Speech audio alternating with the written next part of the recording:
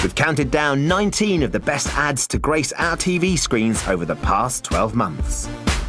Hello, ladies. But now it's time to reveal the instant classic that's been voted the favourite commercial of our panel of 8,000 viewers. Thank you, thank you. Yeah, it's a huge thumbs up to our 2011 ad of the year. It's lovely when you when you meet someone and they say, "Oh, you work in advertising," and they're, "What have you done?" And you go, "I did the ad with the cats with their thumbs," and they go, "No way." Why do cats stare when you're pouring milk? It's like they know it's only a matter of time. It's just so clever. It just made me laugh so much. Wonderful, wonderful ad. Whoever watches it, it is just going to make them laugh as well. The only thing between them and opposable thumbs. Imagine that. How much were they drinking when they come up with that idea? There's a very real condition called um, polydactyl cat. Um, some say it's a condition that developed from crossing the Atlantic on ships, so they have a bigger footprint. So we thought if we could get the truth about this out there, then um, people would really start kind of pricking up and listening. Cats with thumbs.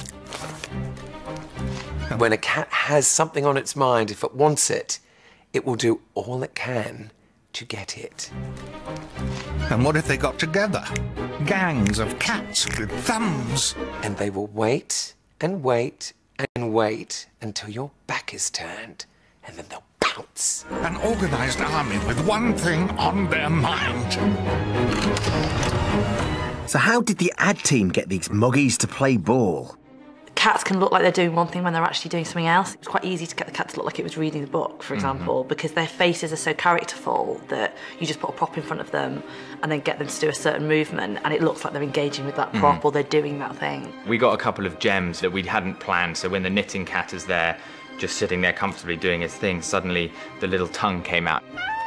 There's a scene where the cat reaches up to the door and clicks the button of the handle and turns it down, and to do that, we actually used these giant paws with a human wearing them with a massive oversized handle. Some of the things were shot with humans wearing furry big arms and some were used just solely cats performing these tricks but we always kind of blurred the the, the, the boundaries between them so you never quite know where the kind of the trickery is taking place. An organized army with one thing on their mind.